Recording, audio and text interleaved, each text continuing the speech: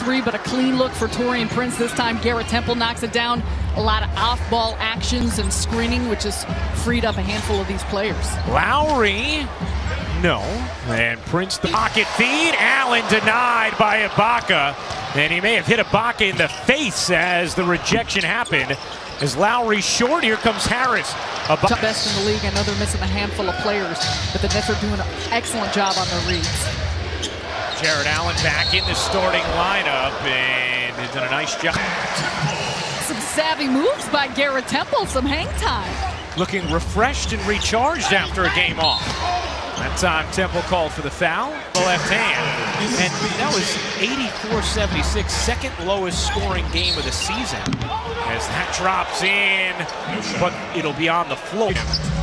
Kenny Atkinson talked about just the energy that he will bring. Is that lob gone awry from Dinwiddie?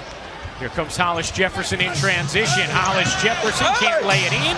Rebound batted out to Jordan. Here comes LeVert for the rotation recently because of the injuries that Toronto has dealt with. In the corner, Lowry rims out on a three. And one turnover. The Nets with eight as a team, two from Harris, two from Jordan.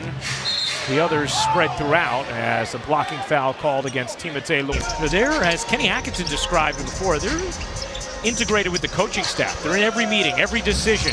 As LeVert soars in, takes a hard fall.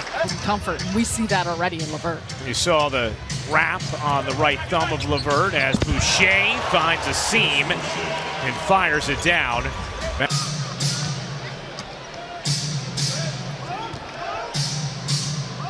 LeVert currently at six minutes of action as Jordan, the I mean, Luwawu Cabarrot in a crowd, four defenders just swarming there. 10th turnover for Brooklyn. Lowry loses it out of bounds, and it's... I don't. By the way, the record for highest three-point field goal percentage for taking at least 40, 60% set by Denver. Ooh. That was in 2018, February. Where the five-out set and just putting Jared Dunker in that Jarrett Allen in the dunker position helps because you got an open floor with guys that can penetrate and get to the basket. I thought you were giving him a new nickname, Jared Dunker. As Dinwiddie glides in and finishes. We can call him that. I like it. A very impressive bounce back first half thus far. Save the turnovers, and that's number 14 from Brooklyn. Lowry connects. And just like that, a little against Toronto. Dinwiddie raises up, can't finish. Here comes VanVleet. Ibaka led the way with 13 in the first half and seven rebounds as well. And he has been abusing Taurean Prince. Had it almost knocked away. McCaw finds the cutter. Lowry, who can't cup it in. Prince the rebound. You got a six-point lead. There's still a ton of time left in this ball game. But doing the little things, taking care of the basketball, trying to make this momentum shift to some of the stoppages of play go in your favor. It's the step on VanVleet. Whips to the corner for Prince. Off on a three. Rebound in the arms of Lowry. Lowry jets into the front court. Dinwiddie was back. Ibaka is held by Prince. Who struggled from the field is Taurean Prince everyone else has been very effective. Yeah, around 50% or higher as Lowry gets the space. And if you give it to staff, this is his first game back since November 14th. Lowry, too strong on a three. Good fight from Hop. That's really what it's all about. In the corner, Terence Davis knocks down a three. Slinking through the lane, shovels it away. And now the Raptors with their own two for one as Davis gets denied in transition, but a goaltend. Lowry gets right around Chandler, can't float it in, the tip no. Philadelphia coming up. LeVert step back jumpers off, Lowry the rebound. Nets led by 16 towards the end of the second. Raptors ended the second on a 12-0 run outscored the Nets in the third to take a three-point lead. Only Chicago forces more turnovers than the Raptors. Lowry gets the whistle on the Wahoo. I didn't know if you made it up, No, no, no. which wouldn't surprise me in the best way possible.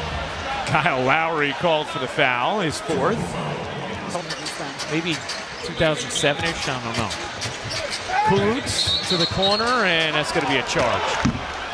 Lowry took the contact, and that Trying to get the pass off, and he, he comes from the baseline. Lowry gets enough space, can't hit the three. Chandler deflects it over to Kuru. Bounces to Kuru. Thought about it, now takes too strong. Chandler the offensive rebound, and a late whistle again. And he's going to Yep. drop. Yep. Lowry with Luwawu Cabarrot in his face, hits the three. Dinwiddie into the paint, can't lay it in. Here comes Lowry. Lowry nearly last three games. They were a minus 26 in the fourth quarter and outscored in each of them. That's trying to end that tonight, but Van Vliet, 26 for Fred VanVleet. Allen gets fouled on the lob, and that's going to be the fourth team foul against Lowry. Ooh, that nearly could have been a push-off, and that's what Kenny Atkinson wanted. And it would Offensively, find where he's at trying to attack. Van Vliet finds Lowry. He got it. Those two have the case. That is a lot. Nets with 24 turnovers to Toronto's eight as Lowry can't stick that one. It's going to be still got some time left. That's right. Nine point game.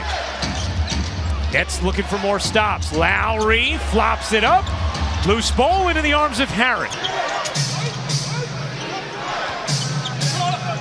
Lowry, the hesitation, the lean, and he gets the whistle. Uh, Again, we rarely see Joe Harris miss like that. Van Vliet, he got it. What a Here in the fourth. Nets one of five, Raptors four of eight. Hollis Jefferson finds the cutter Lowry. He gets the whistle. Troubles on both ends of the floor. It's a great point though, Sarah. Some of those you know, big time opponents were weakened. As Lowry launches.